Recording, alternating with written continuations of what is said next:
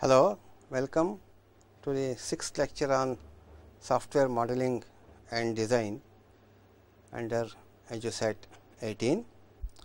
Today, we are going to discuss about the uh, design patterns and uh, object oriented design we have completed in the last class and today we are going to discuss about the design patterns which is section 7.2 in the prescribed textbook.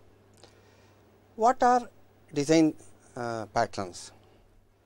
Actually, we have seen one of the important uh, aspect of object oriented analysis and modeling is software reuse.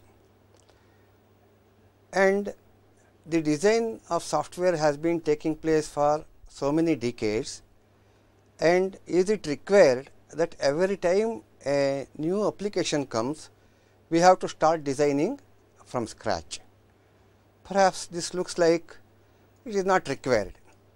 So, what is to be done? We will look at uh, the other engineering aspects. Like for example, if somebody wants to start a car manufacturing, they will not start from physics today. They will see what are the available uh, patterns like for example, four wheels, steering and things like that, engine and all that and they will start building on those aspects. Even though there is difference from one car to other car, for example, whether it is tire size or whether it is steering size or um, whatever it is placement of seats and other things. What is being done is these tire manufacturers they have a different mold if there is a small change in the diameter or something like that.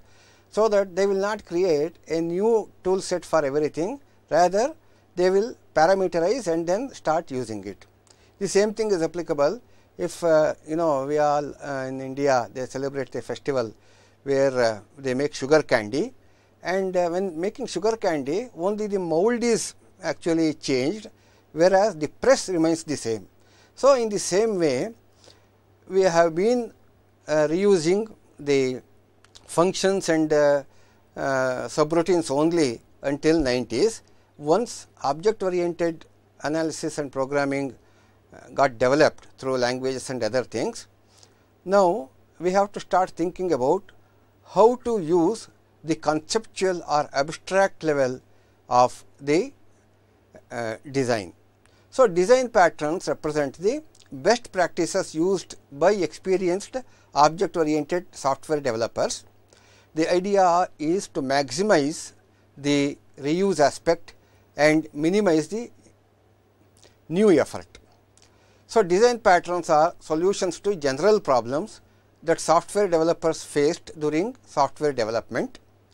These solutions were obtained by trial and error by numerous software developers over quite a substantial period of time.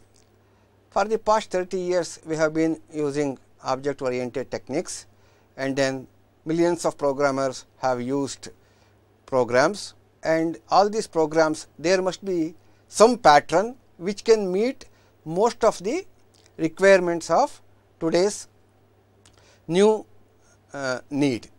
So, in such a case instead of doing the same thing again or inventing the car wheel again, we have to see is there any available pattern which we can modify or which we can use as it is that is one aspect of it.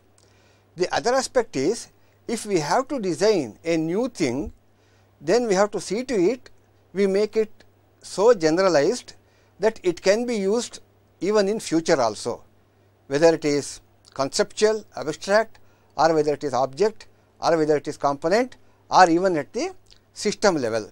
So, when it comes to the abstract or concept level then it is called as design pattern. We will find, we will see what are the patterns that are uh, that are being used today. Design patterns are optimized reusable solutions to the programming problems that we encounter every day. And a design pattern is not a class or a library that we can simply plug into our system. It is much more than that, it is conceptual and it is abstract at that level that means it is at a higher level than the implementation of class or library. So, at the conceptual level we want to use the system. It is a template that has to be implemented in the correct situation and it is not language specific either. When we talk about class or library it is language specific, but design patterns are one level higher. So, it is language independent. So, conceptually we have to use the design so that it can be implemented into any language. A good design pattern should be implementable in most if not all languages depending on the capabilities of the language. Any design pattern if implemented in the wrong place it can be disastrous. So, before using the design pattern we should be careful that this is what actually we want to use and this is the solution. So, using design pattern requires uh, considerable experience on the part of the system designer and the programmer. However, when correctly implemented it can be a great solution. So, this uh, indicates that uh, programming and system design are highly skilled and then which can be enhanced through experience and programming as programming jobs. Okay, so, in summary a design pattern is a standard solution to a common programming problem, a technique for making code more flexible by making it meet certain criteria, a design or implementation structure that achieves a particular purpose, a high level programming idiom, it is not language dependent, but it is an idiom or it is a concept or it is an abstract uh, notion. A shorthand for describing certain aspects of program organization, connections among program components, the shape of an object diagram or object mode will be developed subsequently. So, what are the types of patterns? Patterns have been divided into mainly three types. They are creational, structural and behavioral. The creational pattern will address problems of creating an object in a flexible way separate creation from operation use. That means, the creation of an object should be different should be separated from the operation or use of the object that is the idea. So, the structural one is these are concerned with class and object composition concept of inheritance is used to compose interfaces and define ways to compose objects to obtain new functionalities. This is basically using the concept of inheritance new patterns can be designed or at the level of inheritance the patterns are combined into the required solution. Behavioral is the third one. This one specifically is concerned with the communication between objects or messaging. Patterns address problems of assigning responsibilities to classes, suggest both static relationships and patterns of communication or use cases or behavioral. So, these are the three types of pattern. We will see in fact, there are totally 23 types of patterns have been identified uh, by the um, programmers and uh, out of this uh, major uh, are three creational, structural and behavioral. One more is there J2EE which we are not going to discuss in the class, but we will see an example of creational, structural and behavioral. When we look into an example, it will be clear how actually they are working. So, mainly it is reusability helping new designers to have a more flexible and reusable design. So, that the development of the application will become faster, improving documentation and maintenance of existing system by furnishing an explicit specification of class and object interactions and their intent.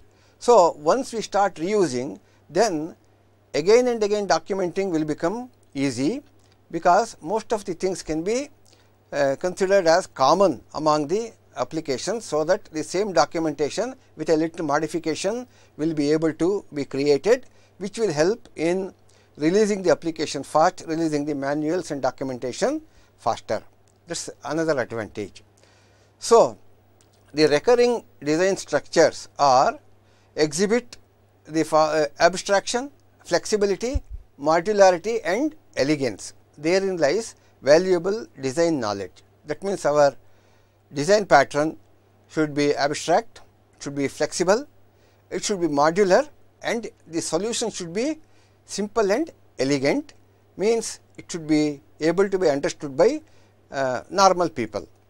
So, problem is capturing, communicating and applying this knowledge.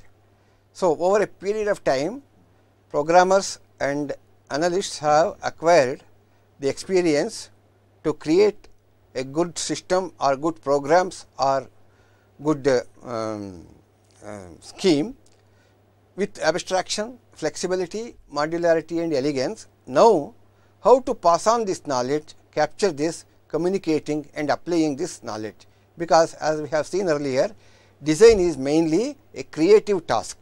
This creative task, how to represent it is one of the important things and then how to reuse is another important aspect. So, a design pattern abstracts a recurring design structure a recurring design structure that is what we have said and most of the times the design structures are recurring or we have to identify is it recurring in any other way. That is one of the important aspects of a system designer to identify recurring design structure. It comprises class and or object plus dependencies, structures, interactions and conventions names and specifies the design structure explicitly. Once a design structure has been identified, we have to name it and specify it so that it can be used again and again as a common design pattern and can be identified by all the people who are using it or who need it and who are stakeholders. So, it has to be named and identified and it actually distills design experience means it enriches the uh, product through experience. Benefits of patterns are design reuse, uniform design vocabulary. This is one of the important things so that people will identify the design pattern and they will be able to use it and they will be able to convey it and they will be able to document it. Enhance understanding, restructuring and team communication. Team com for team communication vocabulary is very important and this is the basis for automation. So, that it can be taken modified and used or used as it is and it can be plug and play and things like that not at the level of component, but at the design or at the conceptual level it can speed up automation transcends language centric biases or myopia. So, when it is beyond or when it is uh, language independent then even common people or people experienced in any one language will be able to understand the conceptual under, uh, design and abstracts away from many unimportant details which is actually the nitty gritty of the uh, programming language and environment which is not required at the design level. And However, there are some disadvantages in patterns and they are require significant tedious and error prone human effort to handcraft pattern implementations and design reuse. Basically, the idea is the more you get experienced using the design pattern, the better the person will be, because otherwise to acquire this expertise and skill, it requires tedious and error prone human effort. So, however, the standardization of documentation, representation etc., will try to reduce this uh, tedious effort to a large extent, but still there is nothing like a good experience for designing uh, or using the design patterns. Can be deceptively simple it may appear to be very simple, but uh, unless we start using it, it is not possible to identify what could be the problem or what could be the difference between uh, the one what is being expected and what is available and may limit design options because this is available I will use this. If this is this kind of attitude may uh, come to the designers. So, they will try to use only what is available rather than thinking about how whether it is suitable or not or what new things are required etc. So, leaves some important details unresolved because by its very nature the design patterns are abstract and conceptual, the details are not taken into account whereas the differentiation between two applications will be mainly in details. And uh, basically the application may look for example every accounting application is same at the accounting level, but when it comes to the details of implementation it may differ. And uh, that is one of the most important aspects of the system and these things are not resolved at the pattern or at the design level.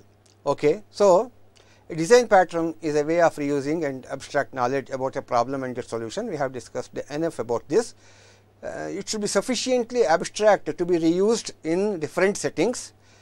Pattern descriptions usually make use of object oriented characteristics such as inheritance and polymorphism.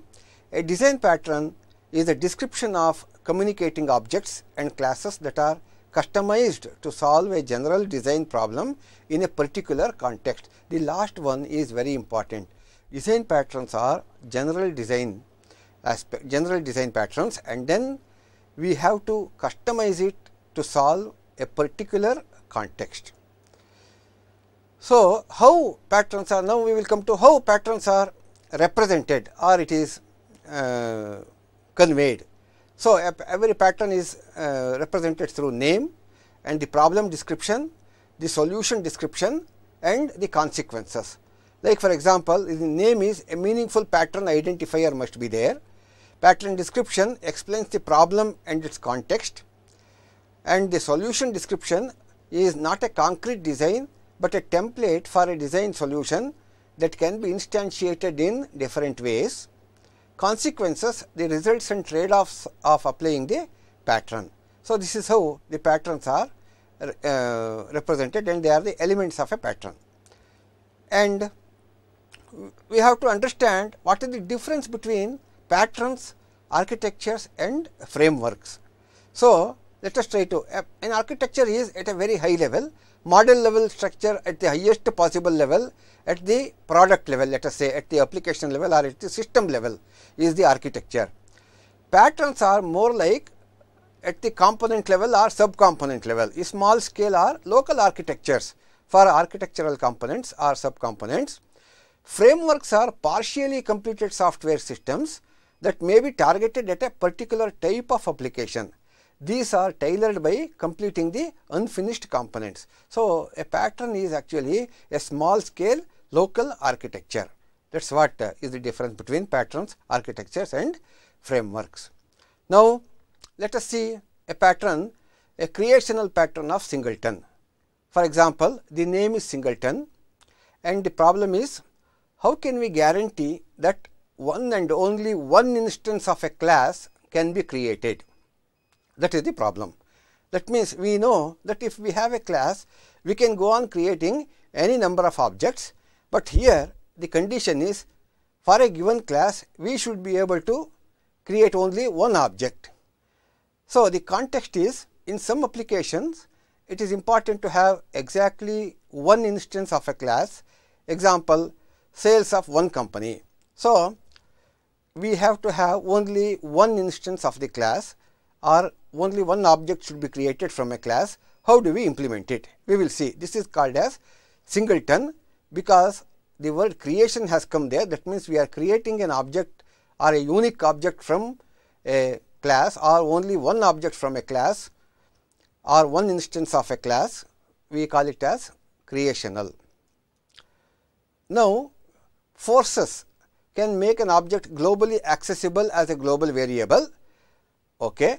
But this violates encapsulation. That means, we can make the object as globally accessible uh, global variable, but then encapsulation property is lost because the the encapsulation property it requires that it should be a class and then uh, uh, it should not be uh, access the inside should not be accessible by outside like operations and attributes. But polymorphic redefinition is not always possible also and solution is create a class with a class operation get instance when class is first accessed this creates relevant object instance and returns object identity to the client. On subsequent calls of get instance, no new instance is created, but identity of existing object is returned. Okay. So, the idea is very simple. That means, we create a class with class operation get instance and this get instance operation will see whether an object has already been created with this class. If it has been created, it will simply return that object. If it is not yet created, it will create an instance of the class. That is the basic thing. That means, a class is having an operation get instance. When we execute that, it will check whether an instance of the class has been already created. If created, it will return that object. If not, it will create a new instance or new object. This is the class diagram and how it is done like for example, it is a singleton and uh, we have what is known as the unique instance and singleton data as the properties. This is the object identifier for singleton instance, class scope or static and we have the methods called get instance or the operations get instance, get singleton data, singleton operation and singleton. This is actually a private constructor only accessible via get instance and then get instance returns object identifier for unique instance class scope or static. When we execute get instance, it checks if unique instance is null. That means, if there is no instance of the class then it will create a new singleton. That means, it will create a new object. Otherwise it will return simply the identity of the object which is actually the return unique instance. So, this is the uh, uh, let us say uh, a small uh, pseudo code type of thing for the class. Uh, and example is the code is like this. Class is singleton. Private uh, is singleton unique instance is equal to null. And uh, private singleton is the operation which uh, is a private constructor. Public static singleton get instance is the method. And if unique instance is null then unique instance is equal to new object is created otherwise it will return the identity of the object. So, this is how the design pattern is implemented. What does this design pattern do is it will implement that a class can have only one instance and not more than one instance. That is how this is implemented.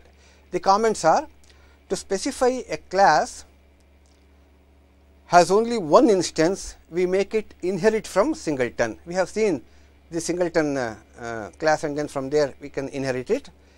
Controlled access to single object instance through singleton encapsulation can tailor for any finite number of instances namespace not extended by global variables. These are the advantages. Disadvantages are access requires additional message passing and pattern limits flexibility, significant redesign of the singleton class later gets many instances. So, basically okay, this is advantages and disadvantages let us not worry about it for the time being. The idea is how to implement a singleton design pattern. What is a singleton design pattern? And then how to make sure that an instance of a class once it is created, a second instance is not created, whereas it will return only the ID of the first instance. That is the important thing. Now, let us see the pattern factory. The factory pattern is one of the most used design patterns in Java this type of design pattern comes under creational pattern as this pattern provides one of the best ways to create an object. In factory pattern, we create object without exposing the creation logic to the client and refer to newly created object using a common interface. So, create an interface and concrete classes implementing the interface. Basically, the idea is that uh, without getting into the details, of what kind of uh, class or object is required at the time we have a design pattern that can we can use it for creating multiple objects or multiple classes and without knowing what type of object irrespective of type of object or class that is the idea. So, here we have an implementation a factory class where we say that it is a shape factory like for example, we want to implement the circle, square and rectangle and depending on what is required at the time of execution or at runtime. So, basically a factory class shape factory is defined which is actually this class and then factory pattern demo uses shape factory to get shape object. It will pass information circle, rectangle and square to shape factory which is the shape factory is here and then here we have the uh, factory pattern uh, demo and uh, get the type of the object it needs. Like means at the time uh, we can use the uh, design pattern of uh, the shape factory to create any shape like circle, square or rectangle. So, we will see the code how it is being implemented. The steps are create an interface shape.java, create concrete classes implementing the same interface that is step 2 that is rectangle, square and circle. This is what we have shown here circle, square and rectangle. Basically, this is the base class from where it implements or it is the interface from where it implements the circle, square or rectangle and the step 3 is create a factory to generate object of concrete class based on given information. What is the meaning of concrete classes? otherwise we have abstract class and the concrete class actually implements the methods. Abstract class will not implement the methods whereas it will uh, provide only the um, uh, only the structure. So, that is the meaning of it and for those who have uh, no knowledge of Java do not worry uh, too much about uh, these aspects right now. We, when we go through the code you will be able to understand it, it is quite simple. The idea is that generally we create an interface known as shape.java and then concrete classes are created from the interfaces depending on what is the method or uh, what is the operations to be implemented.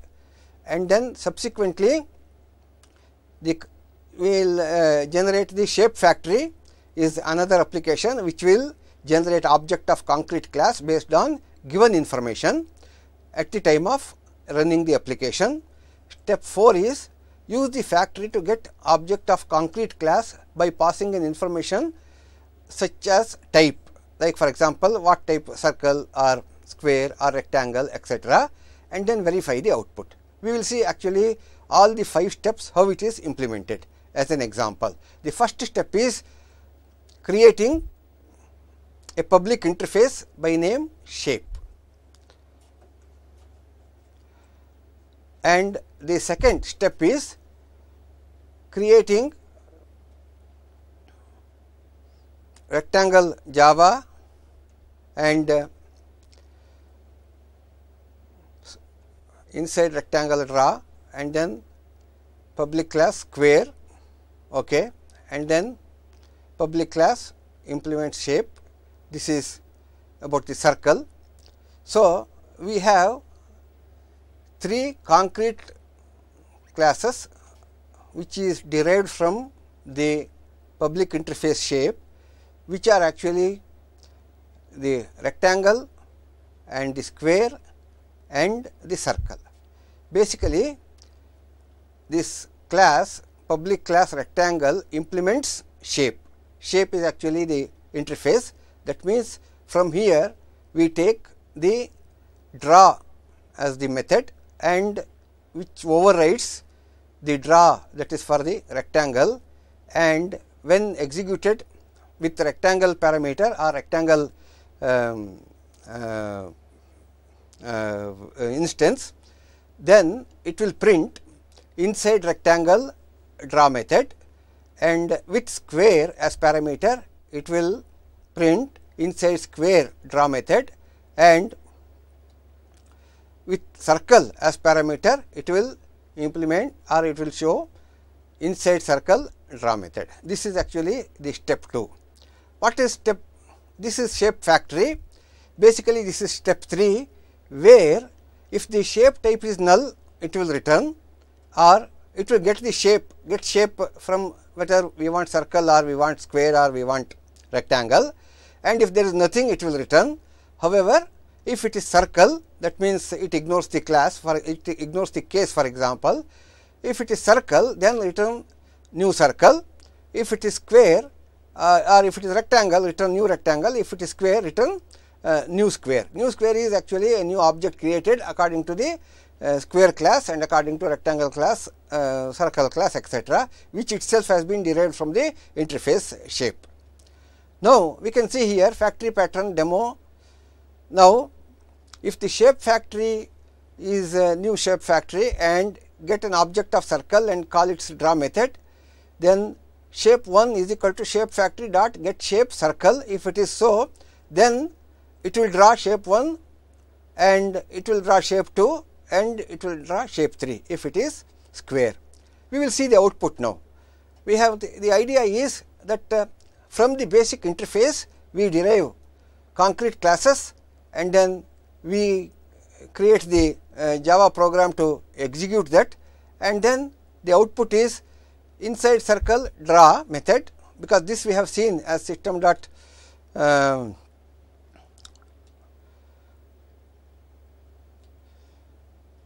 out dot println uh, this is actually inside rectangle draw. This we have seen. So, that is the output. Inside circle draw inside rectangle draw method, inside square draw method. This is actually the factory implementation. So, now we have seen two implementations, one is factory implementation, other one is singleton. Basically, these are how design patterns are used. So, we can see now we do not have to start from scratch for this implementation and we already have available patterns which we can take it and then we can build our application on top of it. So, the third one is the facade which is actually the structural type of thing which is how can we access a large number of classes with a complex internal interaction in a simple but safe way. So, is it possible for us we have got a large number of classes which is not defined at the time of uh, requirement, but at runtime only they are available introduce a dedicated interface class that simplifies the view of the class collection. So, this is also we, we, we have a dedicated interface built that means the interface is built to start with and then from there we will go further. So, like for example, this is a facade, facade means actually a mask that means it is a mask we have to make call to only one mask and then it will be able to access any classes that is connected to or that is derived from this facade. So, that is the subsystem classes are shown here.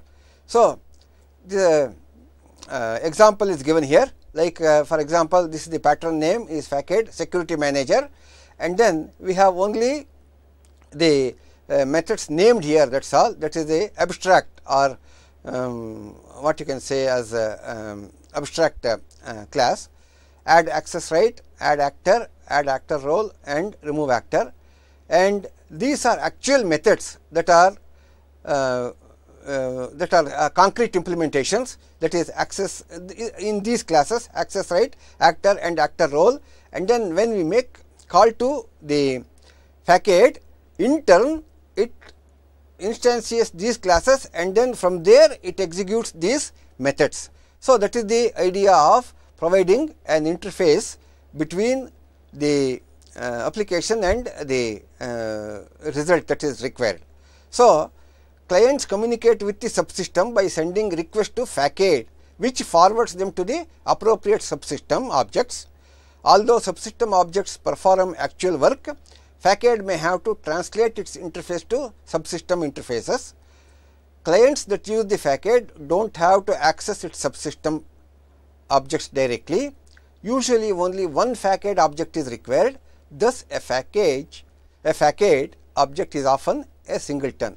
Usually, in a system, one facade is required or one masking from which it can access all other classes or all other objects or even all other methods. So, the third one is actually the observer behavior. The observer observer actually it is uh, it comes under behavior uh, behavioral pattern. Observer pattern is used when there is one to many relationship between objects such as if one object is modified its dependent objects are to be notified automatically. Observer pattern falls under behavioral pattern category. Many times we get into a situation where objects are communicating with each other at runtime and then if the state of one object changes, other objects need to know that the state of this object has changed and the relationship between the object whose state is changed and other objects where there is need to know those changes may be one to many. That means, one change may have to be conveyed to many of the objects. So, here the name of the pattern is called as observer. Problem is define a one to many dependency among objects. So, that when one object changes state all of its dependents are notified and updated automatically and model view controller, but refined by separating abstract from concrete subjects and observers. So, we will see how the description is separates the display of object state from the object itself, uses used when multiple displays of state are needed. See slide with the UML description, we will see that now. Optimization to enhance display performance are impractical. So, we will see in the UML the, the pattern name uh, is observer, description is separates the display of the state of an object from the object itself and allows alternative displays to be provided. When the object state changes, all displays are automatically notified and updated to reflect the change. Basically, one change has to be reflected in multiple places. Problem description in many situations you need to provide multiple displays of state information such as graphical display and a tabular display. Not all of these may be known when the information is specified. All alternative representations should support interaction and when the state is changed all displays must be updated. This pattern may be used in all situations where more than one display format for state information is required and where it is not necessary for the object that maintains the state information to know about the specific display formats used. One example of this is in an Excel sheet, we have the data in one sheet and we have the corresponding graph in another sheet and uh, uh, the types of graphs may be uh, different in different sheets, but a change in the data in one sheet may be reflected immediately in other sheets. I mean, us say let us say an example of uh, the visualization of the problem. Now, we will see the solution description is involves two abstract objects subject and observer and two concrete objects. So, abstract object is actually not implemented concrete objects implements the methods of the abstract objects in the uh, concrete uh, object.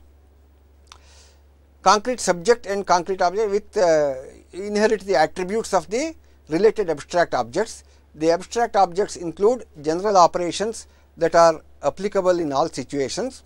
The state to be displayed is maintained in concrete object which inherits operations from subject allowing it to add and remove uh, observes uh, uh, remove observers.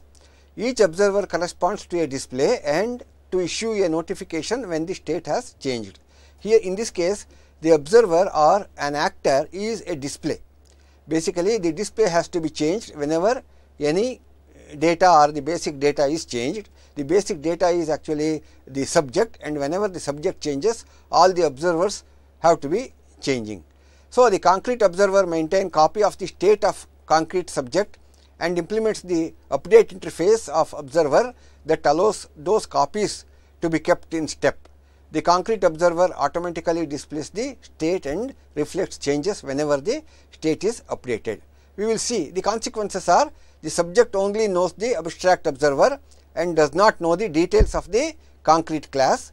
Therefore, there is minimal coupling between these objects before because of this lack of knowledge optimizations that enhance display performance are impractical. Changes to the subject may cause a set of linked updates to observers to be generated, some of which may not be necessary. Basically, the idea is this is the abstract uh, uh, class or abstract object subject and uh, from here the concrete uh, subject uh, is uh, created or inherited and similarly from the observer concrete observer is inherited and then any changes in the subjects are actually conveyed to the concrete observer and that is how the state of the subject is getting changed. It is basically the behavior of uh, one uh, item is conveyed to uh, all other uh, observers or all other um, uh, Uh, uh, users basically. So, concrete subject notifies the observers whenever a change occurs. After being informed of change, a concrete observer queries the subject to reconcile its state with subjects. Observer object that initiates change request postpones its update until it gets notification from subject.